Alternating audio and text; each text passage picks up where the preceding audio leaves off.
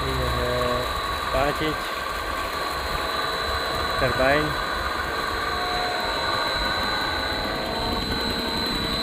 और ये है अपना बेल्ट और मोटर बीस एच पी मोटर